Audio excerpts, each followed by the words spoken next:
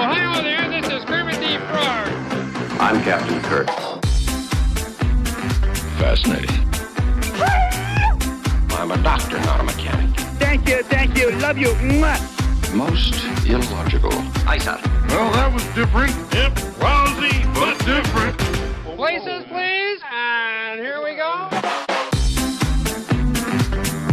Welcome, ladies, gentlemen, Borgs, chickens, and things, to episode seven of the Muppet Trek podcast.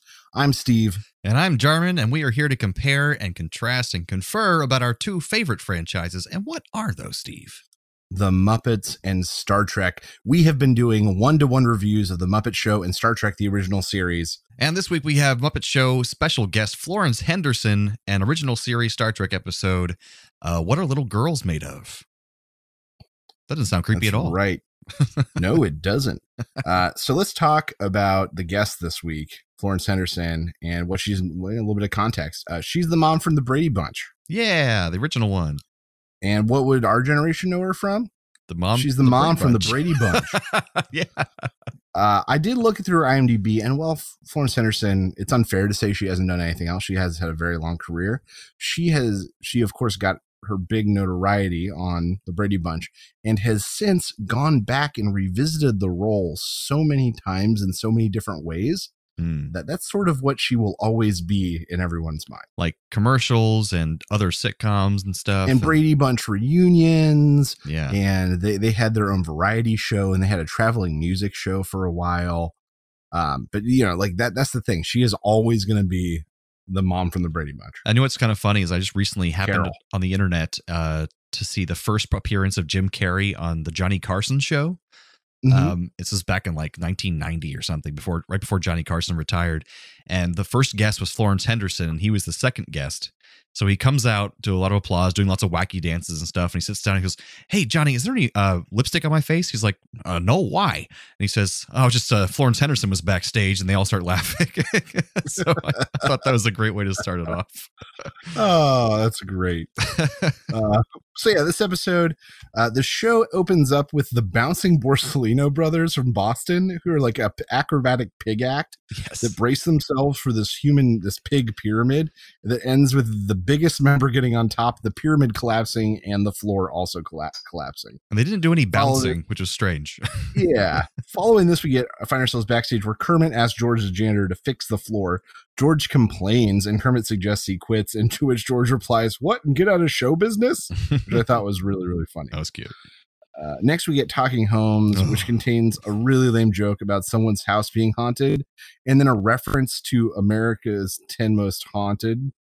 Like instead of ten most wanted, Oh, I didn't was- get the joke at all. it was really lame. Uh, we get our first Florence Henderson number, The Elusive Butterfly, where she's a woman chasing butterflies through like a foggy, ethereal forest. It's okay. Shortly after this, we're backstage. Kermit re- raises his voice uh, while yelling at the Borsellino brothers, which really turns Piggy on, and and then she sexually assaults him. Yep. We then find ourselves at the dance where the best joke is when a loud female whatnot screams about her engagement after her partner gives her permission to announce it. Mhm.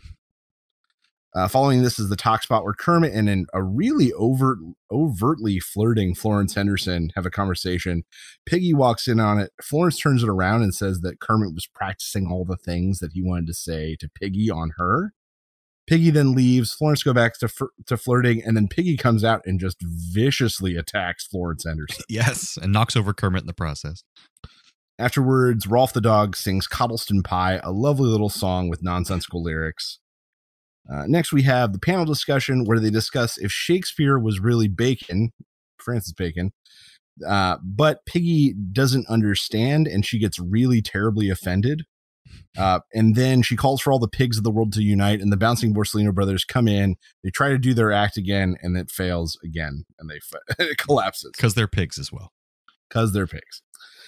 Backstage again, the Borsellino brothers coming off the stage from the top from uh, the panel discussion just won't shut up, and Kermit tells them to knock it off, and this turns into this game of telephone of people telling him to knock it off, and then him saying to knock off the knocking it offs, and they say knock off the knocking it offs until he finally loses it and screams knock it off.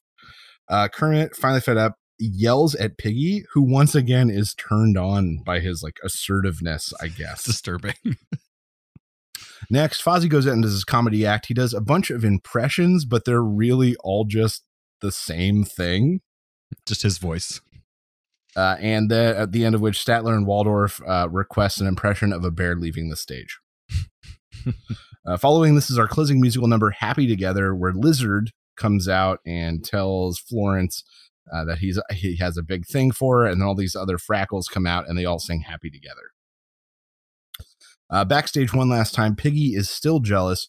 Kermit makes yet another bacon joke, and Piggy just karate chops the crap out of him.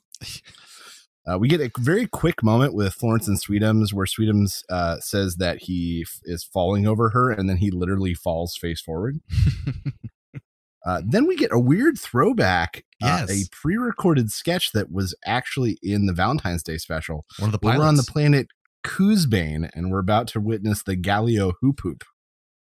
Um, it is a great sketch. I still really enjoyed it. I forgot that it was here, so it was strange to see it again. Yeah, because if you guys go back and watch our pilots episode, this was in one of those, and so they just kind of Yeah. stuck, uh, copied and pasted, basically. Uh, and then the show ends with a sign off. Fozzie tells a terrible uh, prop joke involving a wire hanger, and that's that. That's it for the episode. So yeah, we'll get Uh, into so it in a little bit. Yeah. Let's talk about uh, the factoids, which for the most part I have are uh, the music from this. So, Elusive Bot Butterfly uh, was a song written by a guy named Bobby Lind, who was a folk singer. And this was his biggest hit, hitting number five on the US uh, charts. And it was inspired, inspired by a poem by Yeats Hmm, called The Song of the Wandering Aengus. okay. Uh, next, we have Cottleston Pie. Um, Rolf explains its origins in the episode that it's from Winnie the Pooh and it was written by A.A. Milne. Um, he was a poacher writer and playwright who was popular, but then he wrote two Winnie the Pooh books and then two other children's books, and it overshadowed his, the rest of his career to the point where he resented it. Hmm. He really felt, felt pigeonholed. His son, uh, Christopher Robin, uh, was was the namesake of the main boy in Winnie the Pooh. He grew up resenting his father for exploiting his childhood and became horribly estranged. This estrangement was only further distanced when Christopher Robin married his cousin, Oh, which then further divided the family. and wasn't that movie recently with Ewan McGregor about Christopher Robin, the actual person? Uh yeah, I guess so. Weird. I think. uh, and then we get happy together for uh, originally performed by the Turtles. Uh, there are two founding members. One of them was this guy named Mark Volman. And anytime they appeared on TV, he would play an instrument that wasn't in the song. Huh. So, in multiple occasions, while all performing Happy Together, he used a cello, a trumpet, a piano, and a French horn in all these different shows they did. And uh, it was his subtle objection to lip syncing, but that's just how they did shows at the time. But he hated it. Ah, okay. Uh, so, Jarman, what what did you think of this episode? Um, it was a little disappointing.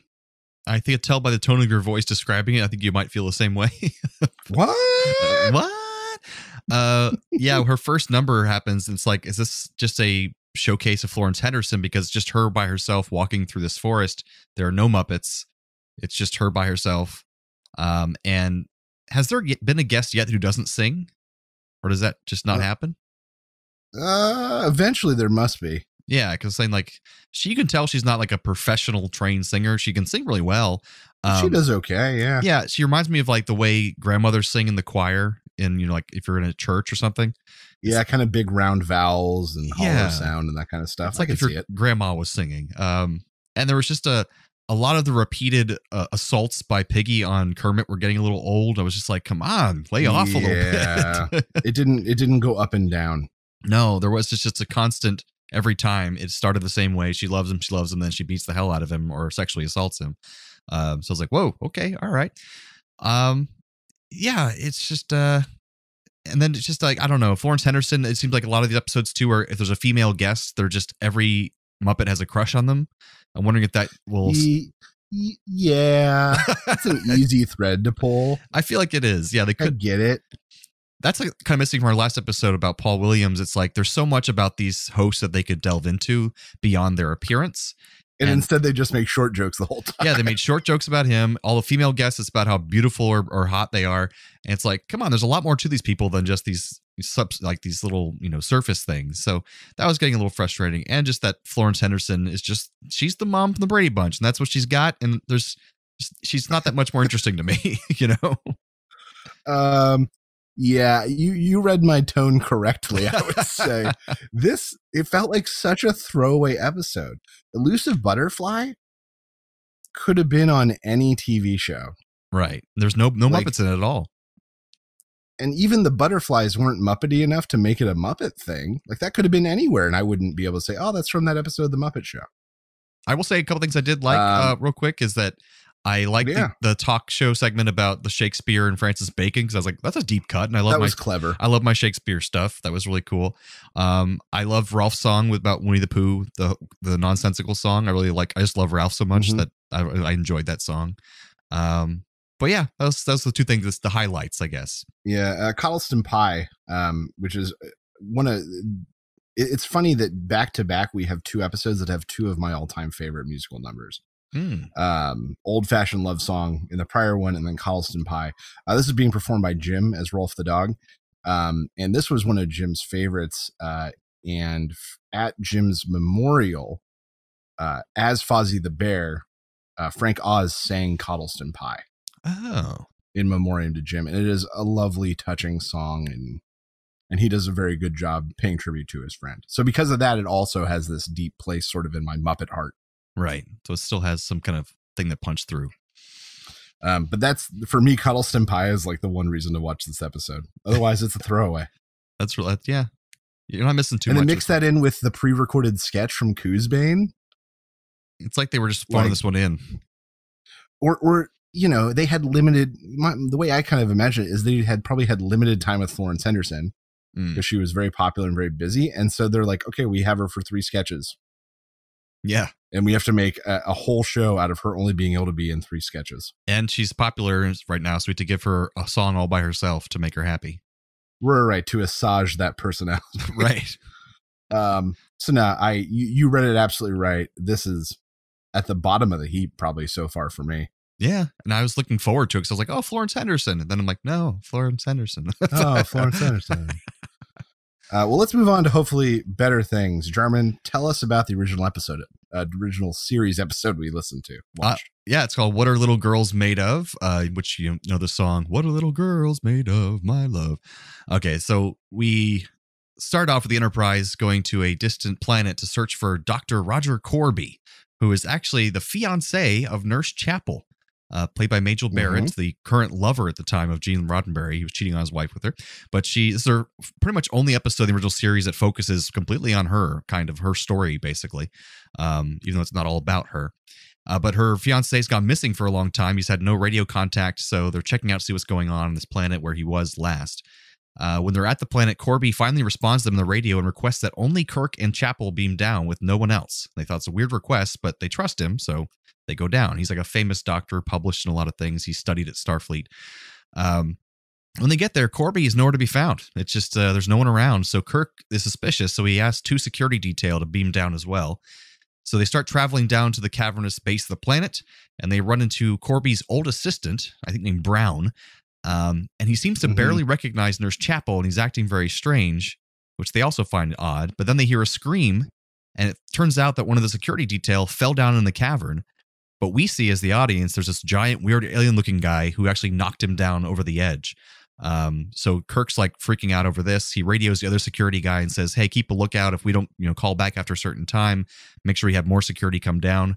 But before um, the, he can, the security guy can tell the Enterprise that he gets killed by the large alien guy as well.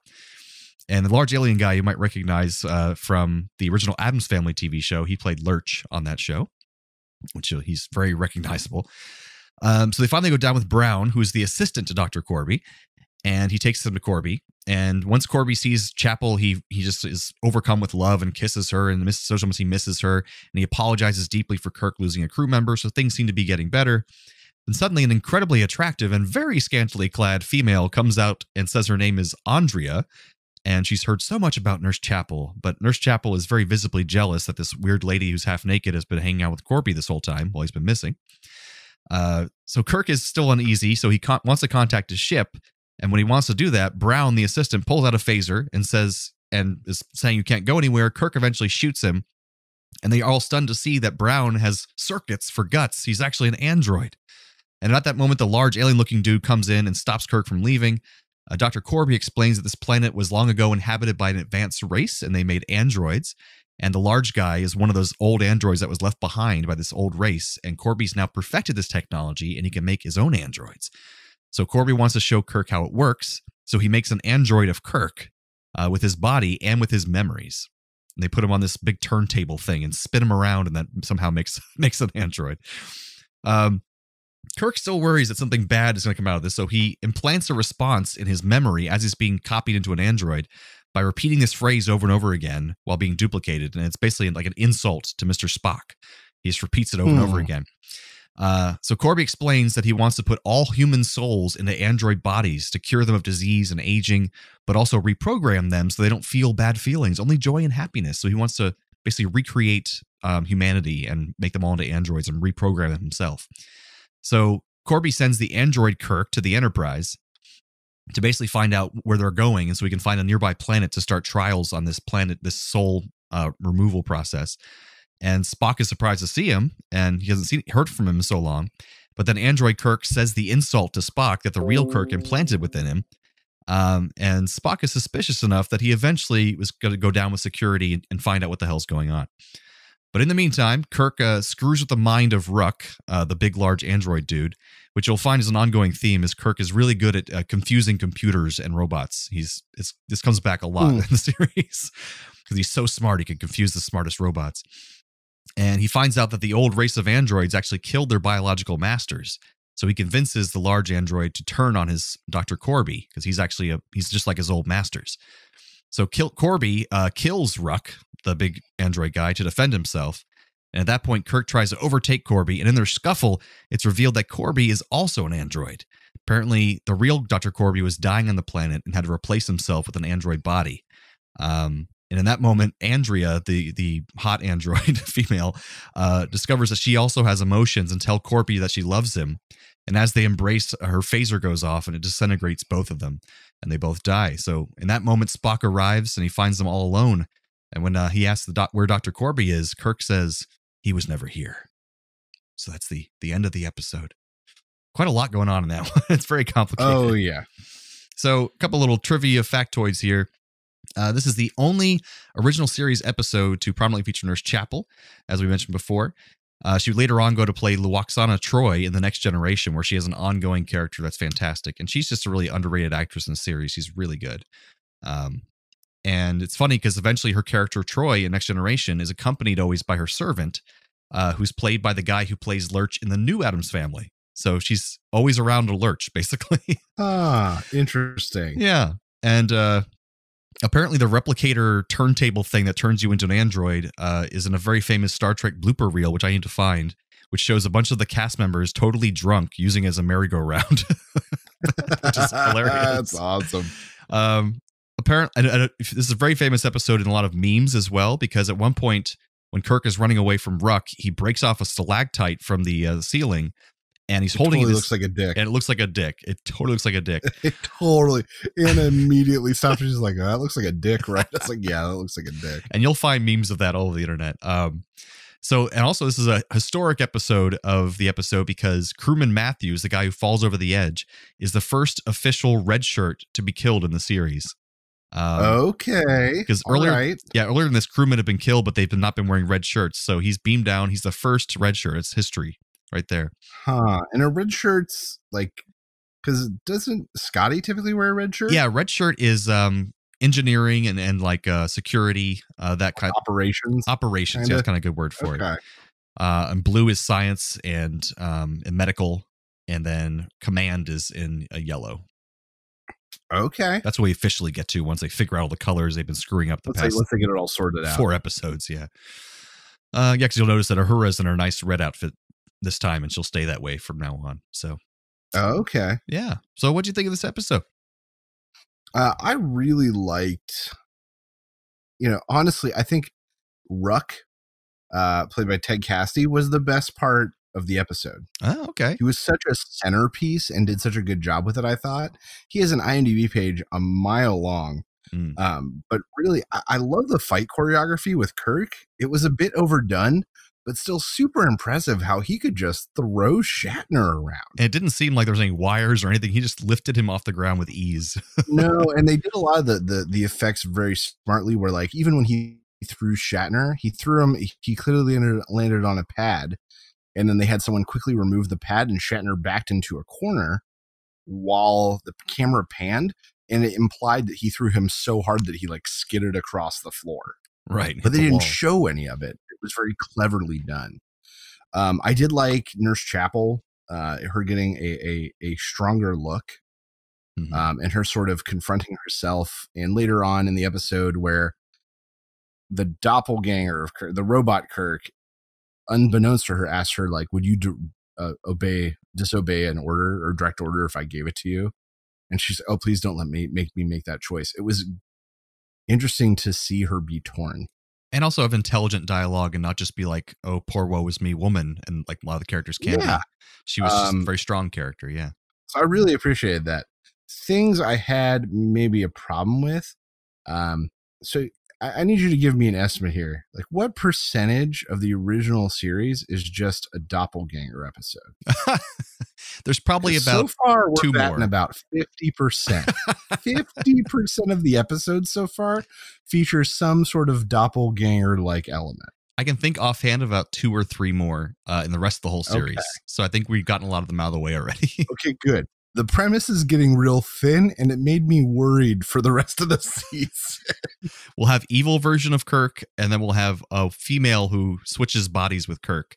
And so that's the two we have left, I think. They're far apart. So Okay, I feel better now.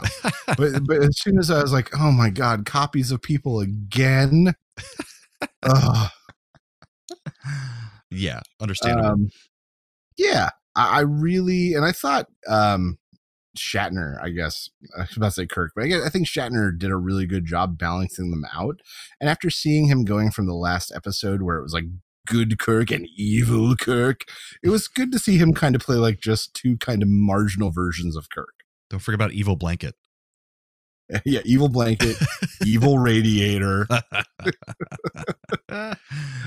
Um, so that was nice to see after such an overblown version in the last episode we watched. yeah, more toned down subtleties. That's right. He is capable of that. All right. So before we move on, I've got some Trek connections for these episodes. Whoa. Uh, Florence Henderson was on three episodes of Fantasy Island, whose lead was Ricardo Montalban, who played Khan, Yes, that's a true. prominent Star Trek villain we haven't gotten to yet. Uh, for a very short time, the Brady Bunch and Star Trek shared a studio space. Hmm. And one day, Florence Henderson came in late and didn't have anyone to do her makeup. So she went over to the Star Trek makeup room and did her makeup sitting between Shatner and Nimoy, who both ignored her. Oh, that's funny. Um, and to mention, the Brady Bunch was the first production um, done by Paramount Television after its acquisition of Desilu Studios, which is how they got Star Trek. Ah, okay. So the Brady Bunch was their first outing as Paramount Television. They're related very closely. That's right. So, Jarman, let's talk some similarities between these two episodes. All right. Uh, well, first one I got, oh, they're kind of connected. So I'm just do mine together if you don't mind. Yeah, do it. Um, there are similarities about learning what love is and dealing with jealousy. It's important. So, uh, Chap- okay. Nurse Chapel is nervous about what the relationship is between Dr. Korby and Andrea, just like Piggy is nervous about the relationship between Florence Henderson and Kermit. Uh huh.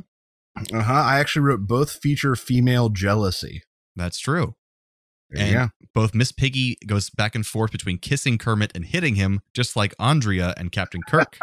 Absolutely right. I didn't catch that. Because one time Dr. Korby says, Andrea, kiss Mr. Kirk. And she kisses him. She's like, now strike him. now strike him. she strikes him. You see, there's no emotion, there's no love. Oh, she's an android. She can't feel these things. So yeah, they both do that. Uh, so mine, is, uh, in in the at the dance, the female whatnot is super excited about her engagement, and in the original ep- series episode, they're looking for the nurse's fiance. Oh, perfect. Uh, both feature f- someone falling through the ground or floor, the acrobat pigs, and the random red shirt who got pushed down that shaft. That's hilarious. And I've got one more. All right. Uh, a f- and you kind of touched on this. A female assaults a male who spurns her advances. Oh, this is true. Piggy to Kermit and Andrea vaporize vaporizes that Kirk and Troy when he says he won't kiss her. Yeah, like a That was second, so abrupt. a second was so afterwards. she goes, "Kiss me," and he's like, "That's that not logical." logical. that was so good and so random. I was not expecting that. I'd forgotten about that part. Oh man. Oh no. What's that? Whoa, whoa! I hear something strange. Transporter malfunction. Transporter malfunction. All right, it's the time of the show where we take one character or actor from one of the episodes and transport them to the other episode, uh, making it fit somehow. so, what you got That's for us. Steve? Uh, this week I would have Ruk, the kind of big giant guy, go over to the Muppet Show and replace Sweetums in that that cute little moment with him and Florence Henderson. You asshole! I had that moment too. Except for the cold android is it, it's him like as a cold android not understanding the turn of phrase. I fall for you.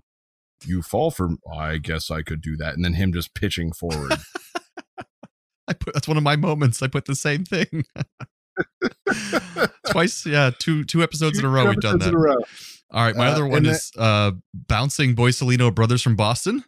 Uh, Uh huh. I'm gonna have them replace Korby's androids uh because they're gonna be the beginning of his Korby's android army because they all look alike uh and they're all like Okay. i- identical like androids I said the the bouncing Borsellino brothers come over and replace Ruk, except for they all are constantly like wearing a big trench coat and trying to get in that pyramid position. But then as Ruk, they just continuously fall apart through the episode. But they're like trying to Muppet man it. oh yeah i like Yeah. i like how we didn't talk about this we had, we had very similar transporter malfunctions Very similar. wow Oh, that's pretty man. funny That Um, is great. so that brings us to the end of episode seven of the muppet trek podcast Join us next time for episode eight of The Muppet Show with special guest star Peter Ustinov. and original series episode miri So, from the lovers, the dreamers, and us. Live long and prosper everyone